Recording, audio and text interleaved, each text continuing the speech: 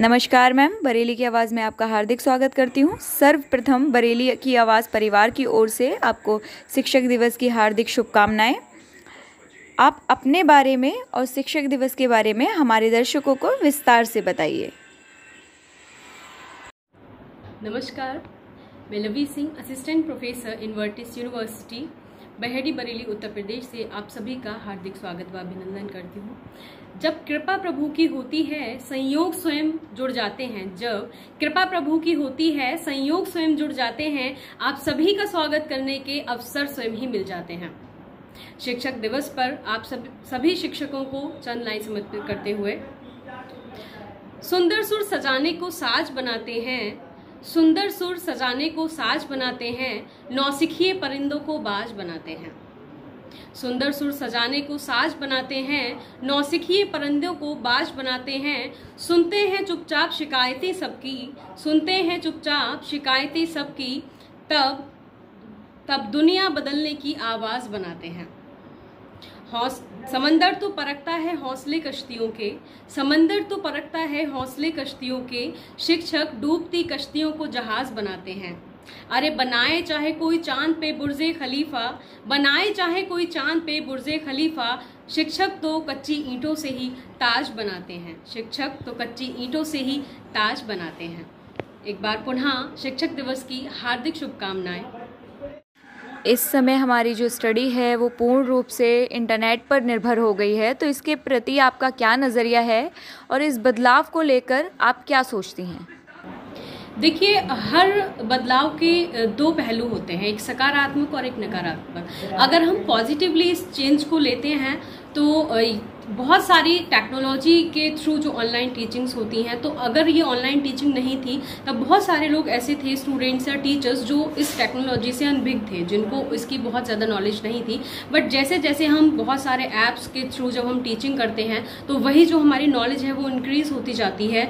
और अगर हम ऑनलाइन टीचिंग की व्यवस्था इस टाइम पर नहीं होती तो शायद टीचर स्टूडेंट का जो इंटरेक्शन है, वो अभी नहीं हो पाता, वो बिल्कुल बंद होता। तो ऑनलाइन टीचिंग के थ्रू टीचर स्टूडेंट का इंटरेक्शन भी बना रहता है और बहुत सारी चीज़ें जो हमारे जीवन में, हम बहुत सारी चीज़ें हैं जो हम नई सीखते हैं। तो ये इंटरेक्शन जो बना रहता है, हम उनके टच में रहते हैं, वो भी बहुत कुछ हमसे सीखते हैं और हम उनको सिखा पाते हैं। तो ऑनलाइन टीचिंग को अगर हम पॉजिटिवली लें तो इसके रिज़ल्ट भी काफ़ी अच्छे आए हैं, देखने को हमें मिले हैं कि बच्चे बहुत कुछ सीख पा रहे हैं। और नेगेटिवली अगर देखें तो बहुत ज़्यादा प्रॉब्लम्स होती है वहाँ पर जहाँ पर टेक्नोलॉजी का अभाव है, या ऐसी जगह पर जहाँ पर नेटवर्किंग की एरिया बिल्कुल नहीं है जहाँ पे नेटवर्क नहीं होते हैं। तो इंटीरियर में जो स्टूडेंट्स होते हैं उनको हम वो जो नॉलेज है वो हम नहीं दे पाते हैं वो उन तक नहीं पहुँच पाती है। तो दोनों ही तरीके से अगर हम देखें आ, मैं चाहती हूँ कि किसी भी चीज़ का जो चेंजेस है हमें उसका पॉजिटिव नज़रिया ही स्वीकार करना चाहिए। तो पॉजिटिवली अगर देखें तो ये बहुत अच्छा है कि हमारा इंटरेक्शन बना रहता है हम नई नॉलेज गेन कर पाते हैं और हम अपने बच्चों के टच में बने रहते हैं।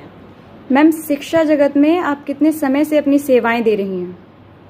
सेवाएँ की बात कहें तो मैं बचपन से ही मेरा बहुत शौक रहा है कि मैं इस प्रोफेशन में जाऊँ और मैं जो भी हम सीखते हैं, हम उसको दूसरों को सिखा पाएँ।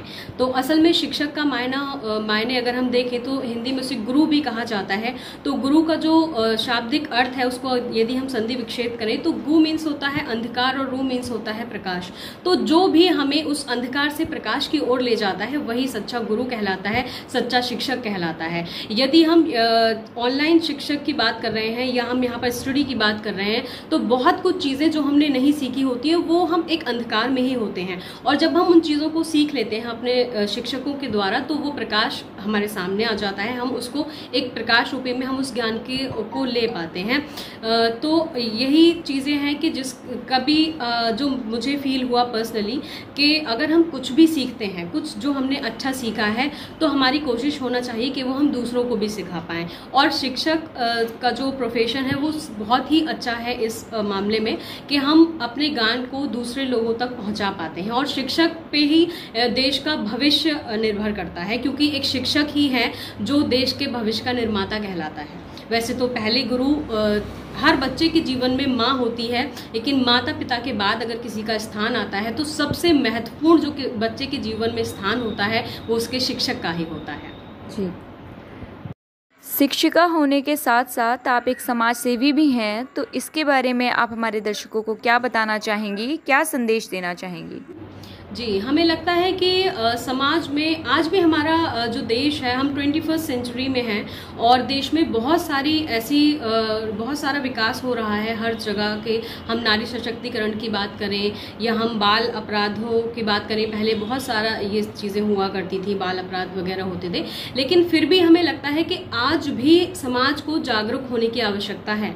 आज भी बहुत सारे जगह ऐसी हैं जहाँ पर बहुत सारे बच्चे पैसों के अभाव में या भूख में वो मर जाते हैं भूख की वजह से। ठंड में उनके पास कपड़े नहीं हैं जिस वजह से वो मर जाते हैं। या नारियों पर हम देखें तो अत्याचार हो रहे हैं रे, रेप के केसेस हैं या दहेज प्रथा है। बहुत सारी नारियाँ ऐसी हैं जो आग लगा लेती हैं दहेज की वजह से या ऐसे केसेस उन पर होते हैं। तो आज आवश्यकता है इन सामाजिक बुराइयों को दूर करने की। इन सामाजिक बुराइयों को बिल्कुल समाज से मिटाने की जिससे कि हमारी महिलाएँ हर जगह खुद को सुरक्षित महसूस कर सकें। तो इसी के लिए मैंने थोड़ा सा समाज सेवा का मेरा ये था मन के आ, हम कुछ करें समाज के लिए। देखिए अपने लिए तो हर कोई इंसान करता है पर हम मानव तब हैं जब हम अपने साथ साथ हम दूसरों के बारे में भी सोचें हम उनकी खुशियों में अपनी खुशियाँ ढूंढें। तो ये प्रयास जो स्टार्ट किया था कि हम एक एनजीओ खोलेंगे जिसके थ्रू हम लोगों की मदद कर पाएँगे तो इसमें सभी मेरे परिवार का सभी मित्रगणों का सबका बहुत सहयोग रहा और वो आज भी सहयोग प्रदान करते हैं। तो उम्मीद एक नया सवेरा वेलफेयर सोसाइटी जो हमने एनजीओ खोला जिस जिसके द्वारा हम ऐसे बच्चों की मदद करते हैं जो शिक्षा नहीं ले पा रहे हैं उनको हम फाइनेंशियल भी सपोर्ट करते हैं, बाकी हम बुक्स वगैरह भी उनको प्रोवाइड कराते हैं।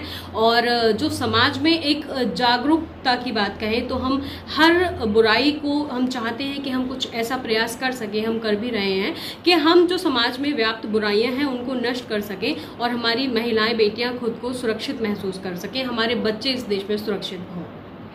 लास्ट में कहना चाहूँगी कि खोजोगे अगर तो ही रास्ते मिलेंगे। खोजोगे अगर तो ही रास्ते मिलेंगे। मंजिलों की फितरत है, ये कुछ चलकर नहीं आती। बरेली की आवाज़ चैनल का बहुत ही हार्दिक स्वागत, हार्दिक आभार ज्ञापित करती हूँ क्योंकि उन्होंने आज अवसर दिया कि मैं अपने विचारों को आप सभी के सम्मुख रख पाऊँ। आशा है कि आप सपोर्ट करेंगे मेरे एनजीओ को और आप इसी तरह आपका सहयोग बना रहेगा। Thank you so much and happy Teachers Day again to all of beautiful teachers.